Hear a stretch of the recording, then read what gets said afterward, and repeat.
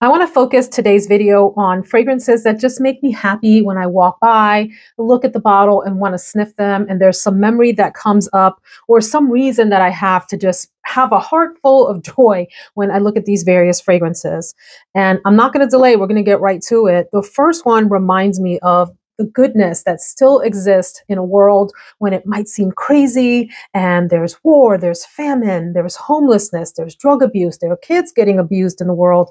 You know, all of the crazy things that kind of keep you up at night or that make you just wonder and fear for humanity. And then someone comes along and does something really thoughtful and kind and nice for you. And you like, you know, there's still really fantastic, wonderful, warm, good humans in the world.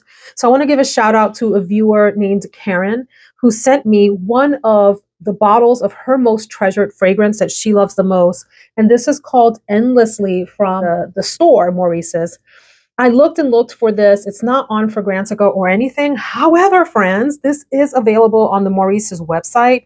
And y'all are not gonna y'all not gonna believe this. It's a whole $17.43. Shut the front door. So a huge thank you to Karen for her thoughtfulness. I got the notification from the UPS store that a package had arrived, had no idea what it was, went, and this was in there along with a very lovely handwritten note about how she enjoys the channel and wanted me to enjoy this fragrance along with her. And I'm like, I was so touched, I was nearly moved to tears when I open this up. So the description is fresh cut lilacs and white freesia on top of a rich vanilla cream. And I get all of that in here. This is just a delightful floral vanilla that is a super easy wear, would probably layer great with fragrances, would be fantastic for day to day, a soft, demure, delicate, feminine fragrance, easy to sleep in also, all of that. This could be like, you know, you're hanging out in your cozy pajamas at home fragrance as much as it could be a date night fragrance where you want it to smell delicate and feminine and sweet and creamy without being overpowering and having the fragrance speak on your behalf. This is really, really nice. And I love that when I look at this, I think about Karen and the sweet intention with which she sent this. So I want to say thank you to Karen for sharing one of your gems with me. I treasure this and it makes me very, very happy to look at this and to spray it on. I want to go next to a fragrance that was pure love at first sniff. Take a look at my new beauties video where I describe this in greater depth. And I love the bottle. The color of it makes me happy. The fragrance inside is just delightfully amazing. This is Erba Gold from Xerjoff. Friends, let me tell you something. let me tell you something. That's Fire Marshal Bill, in case y'all don't know the reference and why I do that. in living color, if you're an 80s kid, you know. If you know, you know let me tell you something. Okay, stop it, Veronica. This fragrance is supremely fruity in all of the sweet, delicious, melony ways. If you think about Erba Pura from Xerjoff, if you've tried that fragrance or any of its clones, you know that it is accused of being almost like synthetic, way too musky, overpowering, bombastic, like nauseating to some. I think it's beautiful, but some people think that it is nauseating. I don't think that those people that hate that fragrance would dislike this one maybe as much. I mean, if you don't like fruit and you don't like musk, you're not gonna like this either. But the muskiness in here is very soft and smooth and elevated. Did I say smooth with a D? I did say that smoothed it's like it's smoothed out maybe and elevated in a way that um, I think would appeal to a wide variety of people. I also think there's a nice healthy dose of vanilla in the fragrance to add almost like this creamy sweetness on the bottom. And I don't mean sweet in like a gourmand fashion. I mean sweet, like think creamy sweet. Is that a thing? sweet, creamy. it works here. It works. Yes, there's musk. Yes, there's heaping doses of fruitiness. There are some ni nice citrus notes that play alongside of the fruit notes. And the fruit notes, like I said, are in the melon direction. I think of like cantaloupe and honeydew and maybe even passion fruit. There's something a little bit sort of tart and deep and super sweet like you would get with a passion fruit note. This is really, really delightful and super long lasting and projecting. And like I said, when I sniffed this, I immediately was like, wow, that is absolutely fantastic.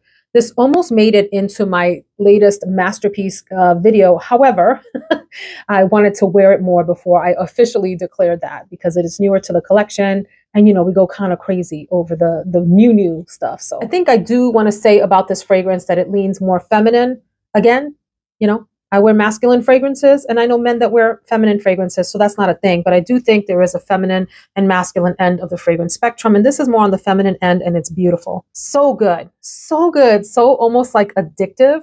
Maybe that's what this video should have been called addictive fragrances. But y'all, if you haven't tried this and you like a fruity, musky, vanilla combo, boom, here you go.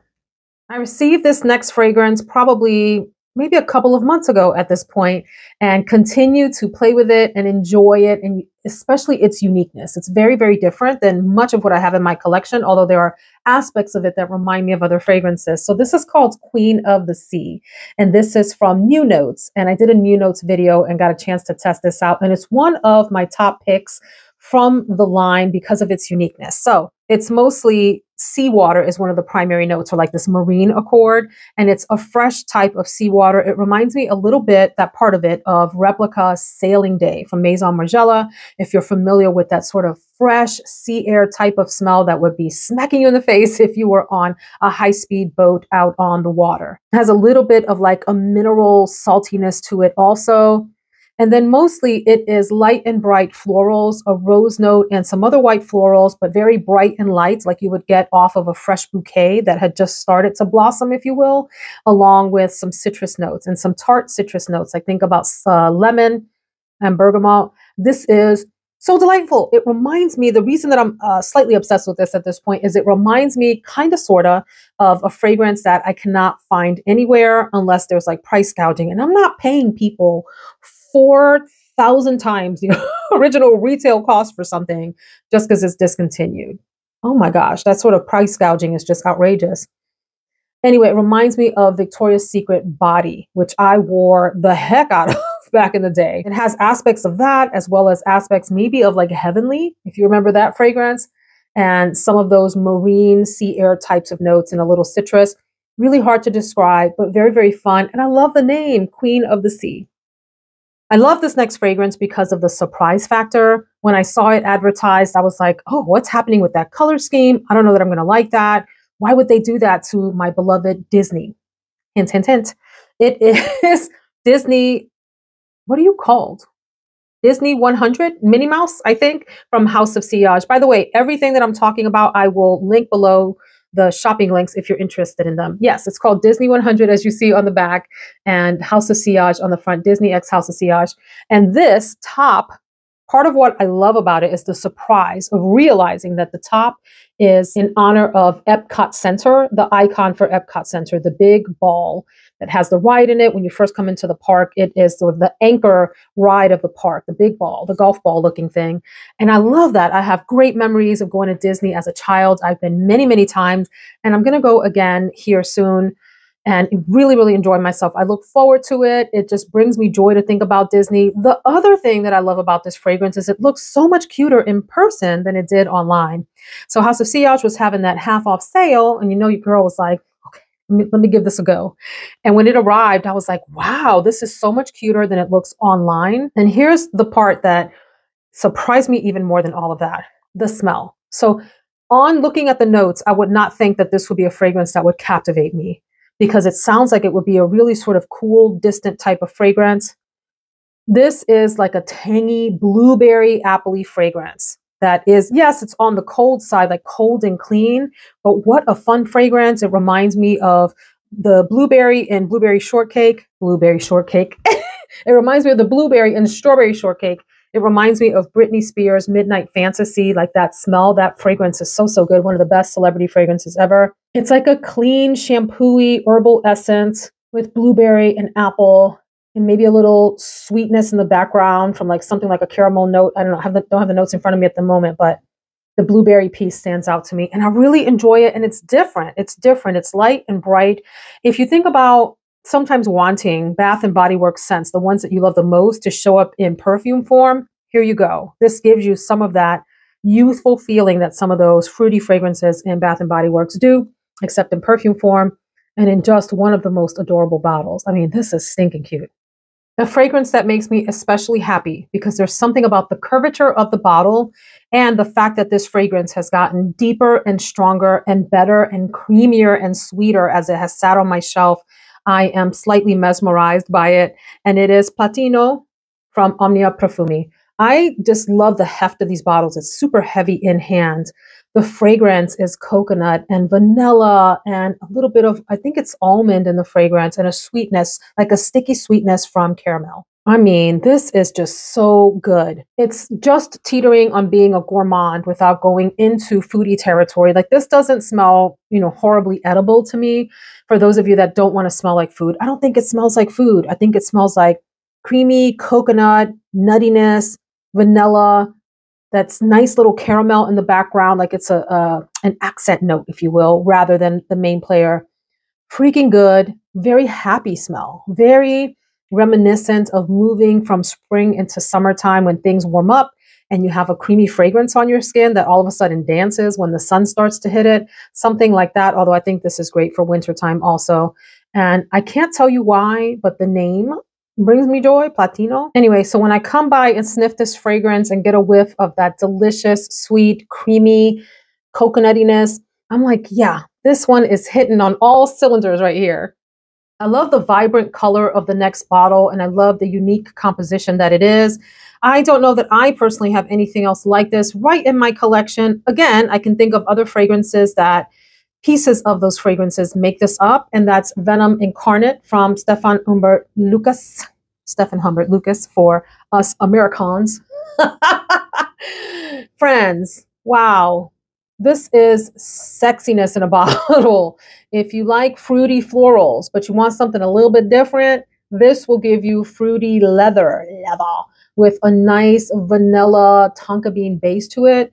It's strawberry at the top. This gives you that sort of strawberry accord right at the top and into the mid, a soft leathery background, and the creaminess from the vanilla and the tonka bean. Tonka bean can sometimes feel a little tiny bit powdery.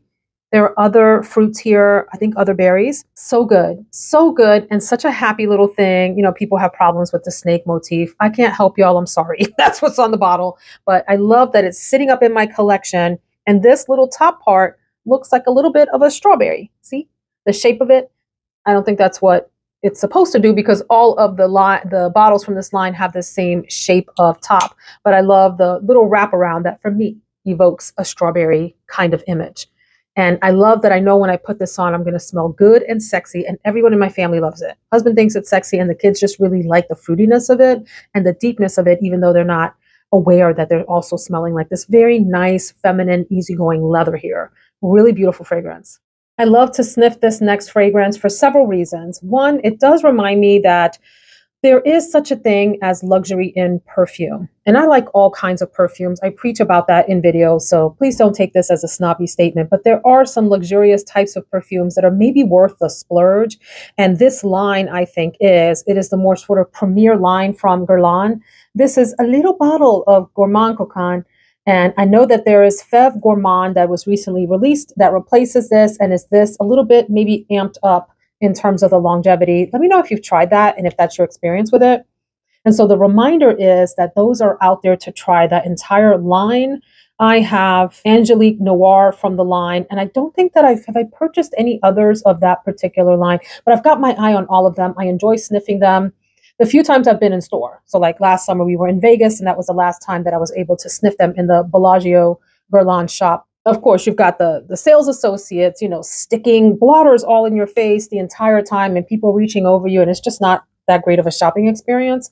This is such a delicious delicious like tootsie roll. It's like a tootsie roll melted in your mouth and then perfumed on top. This is what this is. This is like the most elegant chocolate fragrance and what I also like about this is that it's like the last man standing. I went through this phase where I wanted lots of gourmand fragrances and ch- I went through a chocolate phase. So I had probably, I don't know, 15 or so chocolate fragrances many of which I have passed along or sold off. I probably have maybe four or five or so left. And this one is the best among them and the last man standing, if you will. It reminds me of that show. So, all of that to say that this is one of the best, if not the best, chocolate fragrance that I've ever tried. And so I like it from that perspective that it's the standout and that it represents that it's okay to spend on luxury for the things that you really, really want if they're worth it. If they're worth it. And that's only up to you to decide.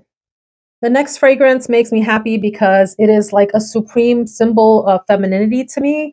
for me, when I look at this, there's something about the bottle color, the darkness of it, the mysterious aspect of the way that the light shines through it, and the way that it smells that just screams uh, womanly femininity, you know, all of your being in your like wiles, your feminine wiles type of thing. And so, look, people were really judgy about this fragrance when it first came out because it felt like false advertising to people. This is black opium over red. So let's take a second to just appreciate the way that the light shines through this sort of dark reddish, it's almost like a brown red bottle here. And it smells a lot like black opium, the original. It does have some cherry in it.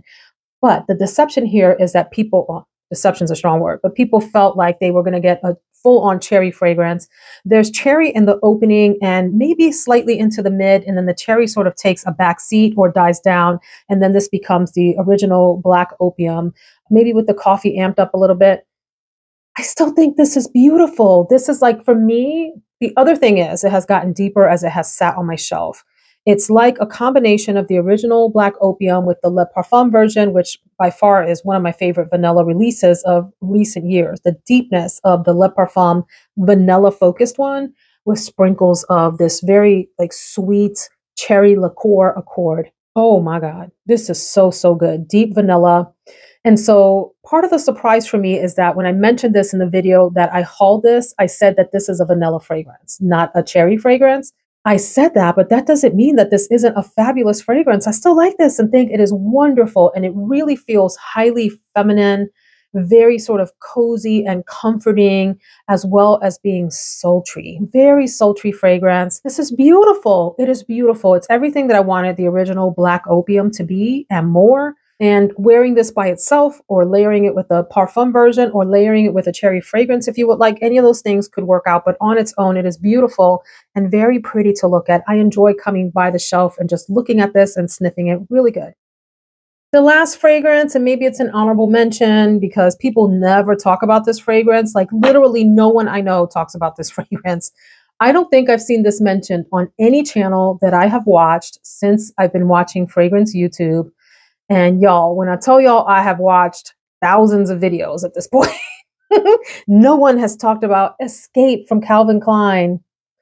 This reminds me of being young, footloose, fancy free, running the streets of the Bronx with my friends in the summertime, stopping at the. Do I have lipstick? Have I had lipstick on my teeth the whole time? Or is that just the way the shadow's hitting? We're to act like we didn't see that. Let's keep going. Y'all should tell me if I have lipstick on my teeth. Aren't we friends? it reminds me of running the streets with my friends and thinking that we owned the world. We were young and wild and free. have you tried this? It's supposed to be like beachy, but I don't know. It's one of those fragrances that I can't describe. It has the entire kitchen sink in it a lot of florals, maybe some fruity notes, a little bit of sweetness, maybe some amber, maybe some woodiness. Maybe it has oak moss. It's got everything. I don't even know how to describe this, but looking at the bottle and thinking about my youth, wearing the heck out of this fragrance, and it was strong back in the day. I mean, this one was like they could smell you several blocks away. If I was in the Bronx, they probably smelled me out in Brooklyn wearing this fragrance and a lot of people wore it and it was inexpensive. Was it inexpensive? Or am I making that up? Do I have a romantic memory of it being inexpensive and it really wasn't? But right now you can get this for under $20, probably on FragranceNet. I will link all of these fragrances below in case you're interested in trying them out. Man, what a memory this brings for me. I've got it hidden up on my top shelf of my fragrance shelves, and that's the shelf upon which I have, or is it on which I have? This isn't a grammar lesson. Stop it, Veronica. It's the shelf that has all of the strange and bizarre fragrances that I don't know how to classify because they sort of stand on their own. They're unique. And this is sitting in the corner. So I don't always like see it. But when I look up there with my little short legged self, I got to climb on my stool and look on the top shelf and it's over in the corner. And I'm like, hey, old friend, remember when we were young teenagers and just the world was our oyster? We'll always be friends. So Escape by Calvin Klein makes me super happy just to look at, even though I wear it on very rare occasions. What fragrances make you happy? Where you go by yourself, you look at it, you have a connection with it, and you immediately feel joy in your heart for some reason, one reason or another. Tell us, tell us in the comments. We love to share. I love hearing from y'all. You love hearing from each other and all of those things. I hope you have a wonderful day. Thanks so much for hanging out with me.